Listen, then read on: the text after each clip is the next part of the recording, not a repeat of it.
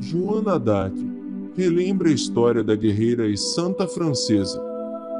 No dia 30 de maio de 1431, a jovem francesa Joana d'Arc, nascida na comuna de Domremy-la-Pucelle, foi queimada em praça pública ao ser acusada de heresia e feitiçaria por um tribunal eclesiástico inglês e francês.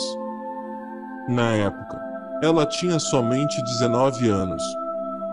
Muitos anos se passaram e a história de Joana d'Arc, heroína que garantiu substanciais vitórias ao exército francês durante a Guerra dos Cem Anos, de 1337 a 1453, foi revisitada, reconsiderada e hoje ela é tida como a santa padroeira da França. Nascimento Joana d'Arc nasceu na comuna de Domremy, que posteriormente foi nomeada de Domremy-la-Pucelle em homenagem ao epíteto que a guerreira usava, na região de Lorena, na França. Não se sabe ao certo a data de seu nascimento, visto que naquela época as pessoas não contavam exatamente as idades. Há uma estimativa de que ela tenha vindo ao mundo em 1412, segundo seu depoimento no julgamento. Tenho 19 anos, mais ou menos, revelou ela em 1431.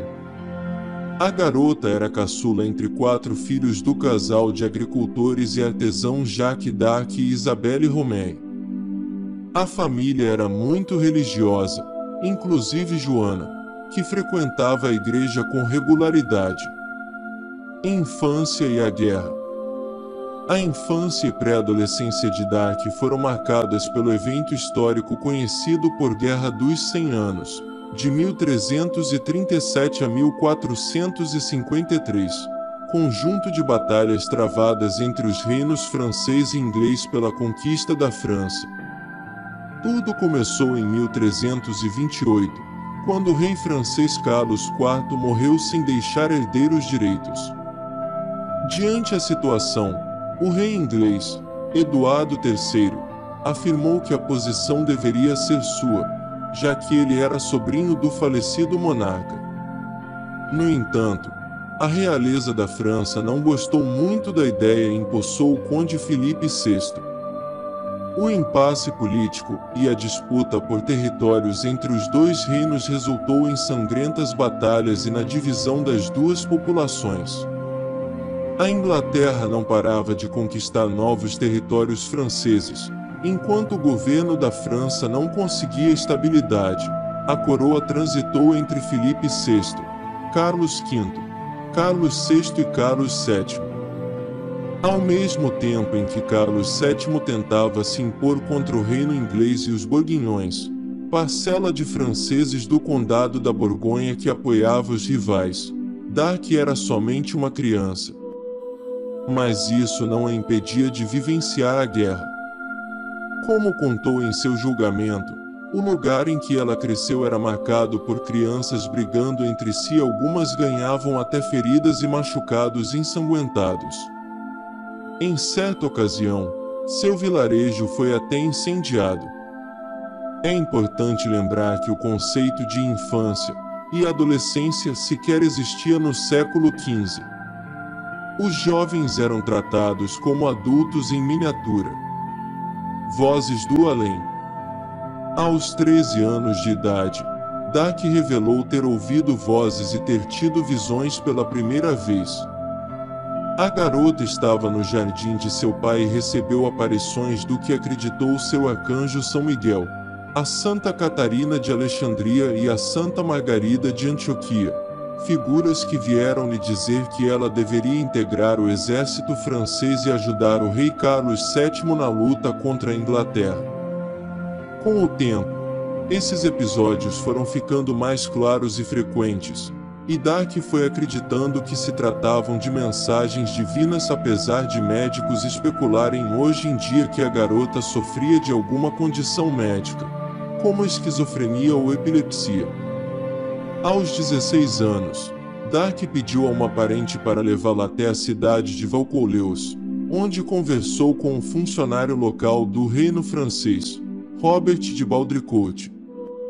Lá pediu que o funcionário a levasse até a corte real francesa, em Chinon.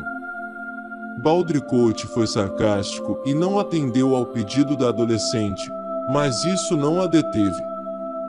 Dark continuou a visitá-lo, até que ganhou aprovação popular em 1429, Baldricote aceitou o pedido, cedendo a ela um cavalo e a proteção de diversos militares que a escoltariam pelo caminho. Antes de partir para visitar o rei Carlos VII, porém, Dark cortou seu cabelo curto e vestiu-se como um homem.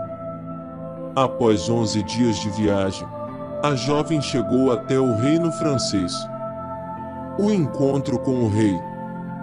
Um dos maiores mistérios da história é tentar entender como Carlos VII, o líder máximo da França, aceitou receber uma adolescente analfabeta que alegava receber mensagens divinas em seu gabinete. E mais ainda, como um monarca daquela magnitude acreditaria nas palavras da menina e permitiria que ela liderasse parte de seu exército em uma guerra sangrenta? Nós nunca saberemos o que aconteceu em China. Esse é um dos maiores mistérios da história, escreveu a historiadora Marina Warner, professora da Universidade de Essex, Reino Unido, em sua obra John of Arc, The Image of Female Heroes, 1981, sem tradução para o português. É válido mencionar que durante o posterior julgamento de Dark, quando ela foi capturada pelos Borguinhões, ela recusou contar o que aconteceu em Chinon e apenas disse que o rei Carlos VII havia recebido um sinal para entender que a história que ela contava era verdadeira.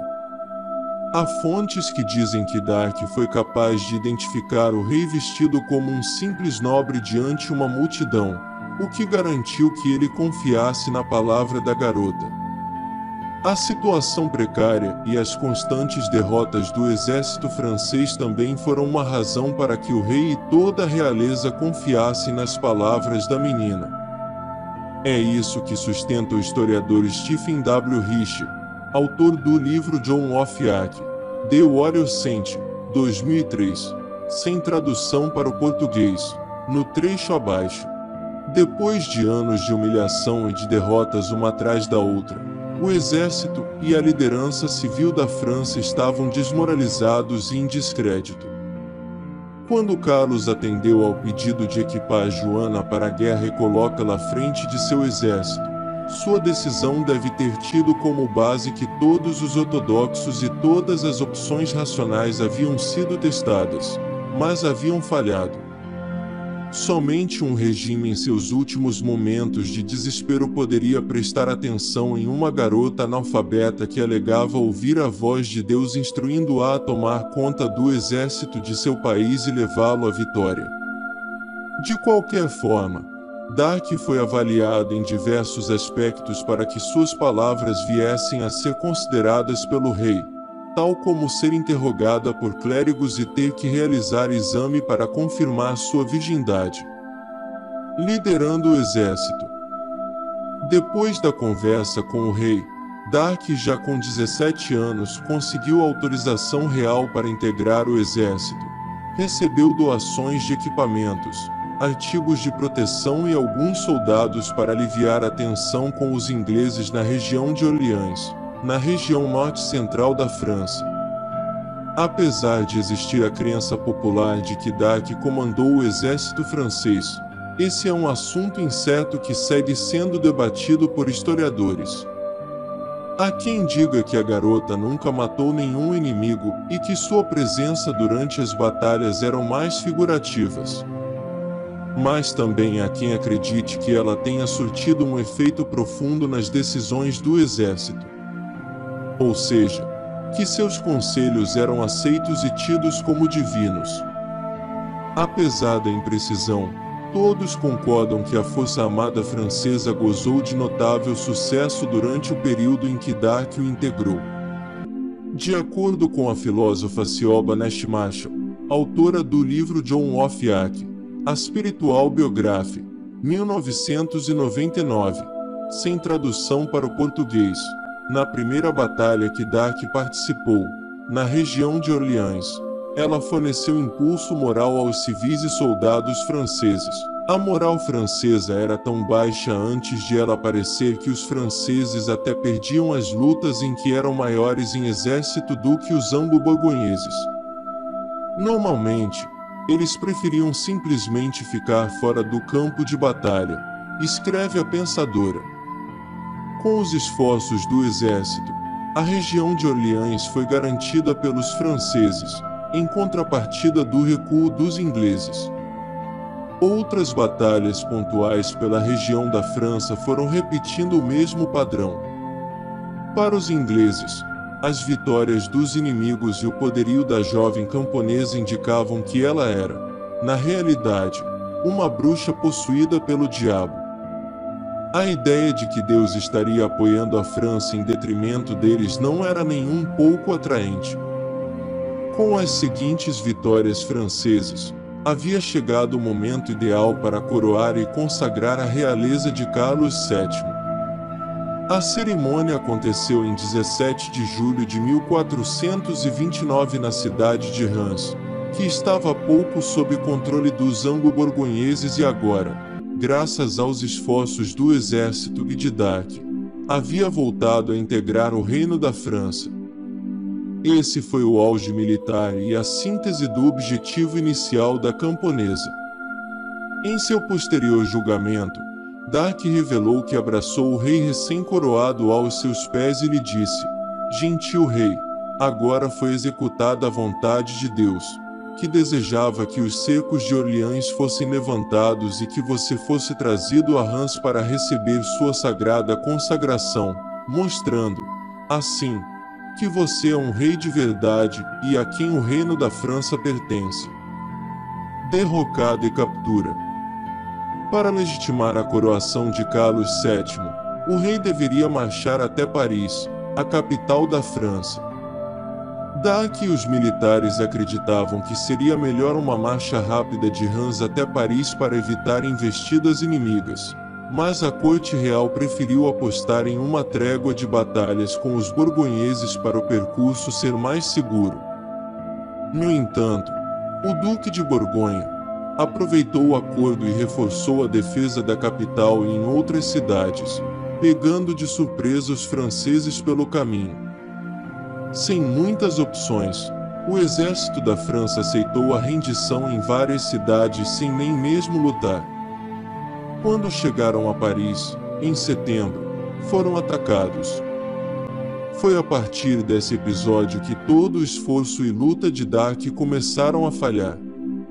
O governo real decidiu dissolver o exército e iniciou uma campanha em busca de diplomacia e consolidação de seus ganhos anteriores.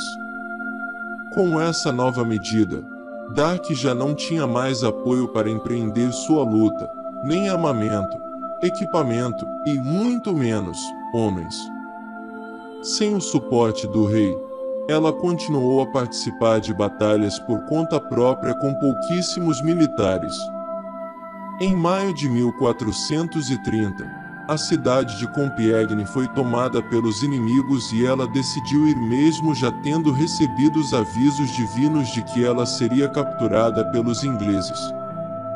Como era de se esperar, a força do exército anglo-borgonhês era muito maior do que a sua. Em 23 de maio, ela foi capturada pelas tropas de borgonheses. Por um valor de 10 mil libras, Dark foi vendida ao exército da Inglaterra. Há fontes que dizem que quando a garota soube que iria para as mãos dos inimigos, ela se jogou da torre em que estava presa. No entanto, sua tentativa de suicídio não funcionou. Em 1431, Dark foi levada para julgamento e as acusações que pairavam sobre si eram todas de ordem religiosa. Ela foi chamada de bruxa, herege, possuída pelo demônio, entre outros. Sua virgindade foi questionada e até o fato de ela utilizar roupas masculinas foi uma alegação que os anglo-borgonheses utilizaram para descreditar a camponesa. Enquanto ela era julgada, o rei Carlos VII não fez nenhum esforço para recuperá-la.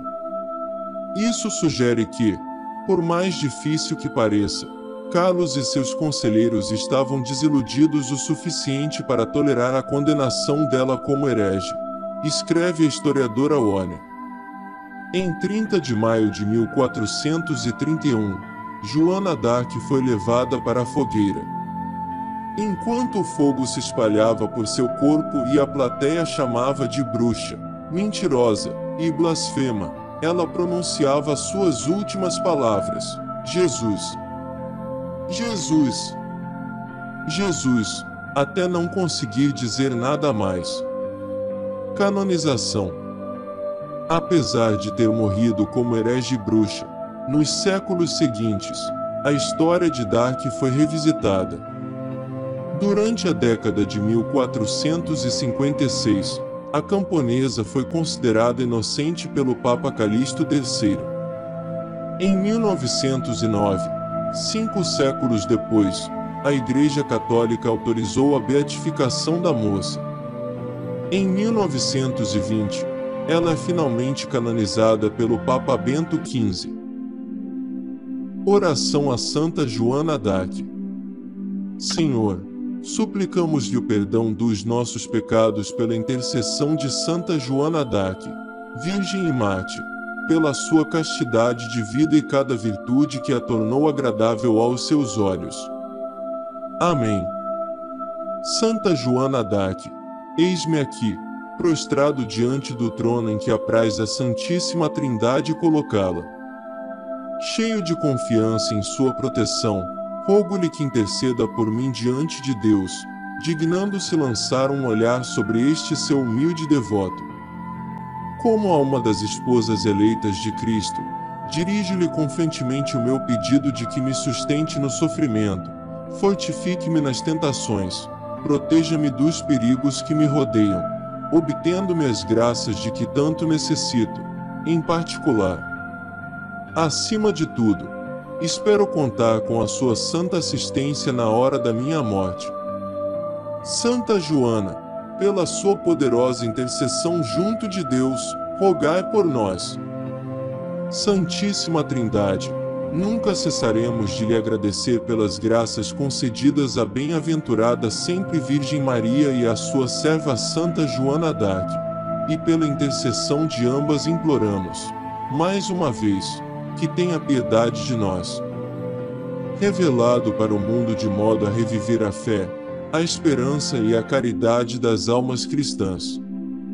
Eu me prostro a vossos pés, minha querida Santa, digna, Virgem, cheia de graça e bondade, e peço que receba as orações deste seu humilde servo e obtenha para mim a pureza de teu terrível sacrifício e a fortaleza de sua alma, e faça com que eu resista aos mais terríveis ataques e que eu venha sentir este seu amor ardente para o nosso Senhor Jesus Cristo. Amor este que os mais terríveis tormentos não o fez extinguirem-te. Assim espero que, seguindo este exemplo santo e imitando sua vida, eu possa um dia estar contigo no paraíso. Na hora de minha agonia final, venha em meu socorro, fique ao meu lado e me conduza à presença de Jesus. Amém.